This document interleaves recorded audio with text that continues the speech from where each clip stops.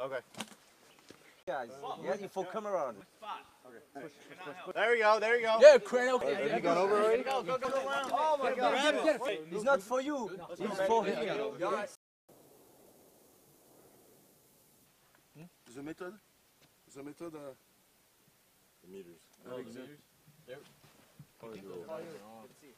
here? Okay. Hey, we got Mark Wahlberg right here. So we uh, we're going. It's too thick. Yes. Oh, and uh,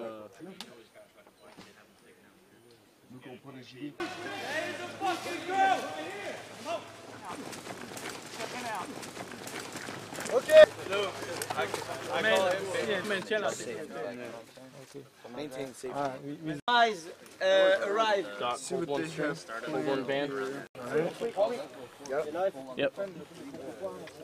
It's right under your feet. Exactly. That's what I just said. Reactive. You can use it. Yeah, you can use the tree active. You guys even use those uh cord, extended cord. The, the best way to do is